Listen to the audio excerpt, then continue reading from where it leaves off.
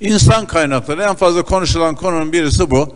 31 Mart'ta genel toplam 29.446. Burada e, tek tek sayıyor. 31 Aralık 2021'de 36.132. Çok artmış diyeceksiniz ama çok artmamış. Devam edin.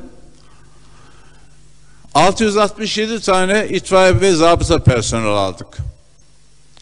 Anfa'da mesela eskiden 2015'te 2694, 16'da 3200, 2017'de 3195, 2018'de 2049 tane personel taşeron olarak çalışıyordu.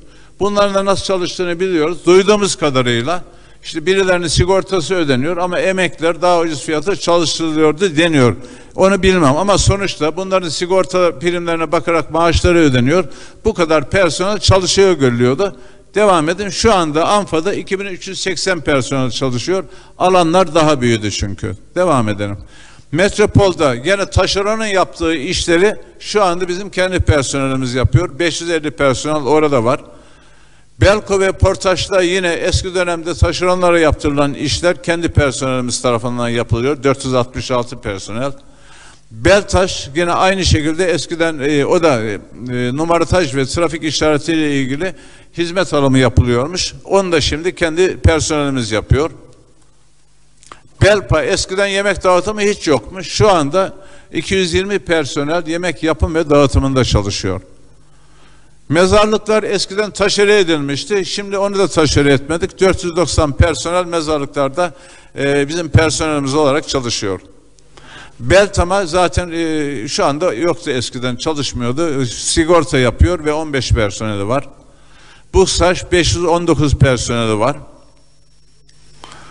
İşten ayrılmalar. Koparmayın. Heh, işten ayrılmalar. En fazla gürültü koparılan şey. Vefat 123. İstifa 1412. Fesih 174. Emeklilik 1146.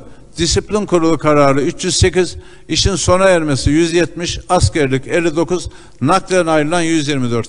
Meydan okuyoruz. Siyasetten adam atıldı diyenlere meydan. İkide bir çıkıp çıkıp böyle attığınız şeref atma, at, attı, atmadan attı diyen de şerefsizdir. Hak ettiniz artık. İşte sonuç burada. Ve tweet attınız altına dediler ki altına şunu yazdılar. Siyasi nedenle işten atılanlar bunun altını yazsın dediler. Kaç kişi yazdı Allah aşkına? Lütfen.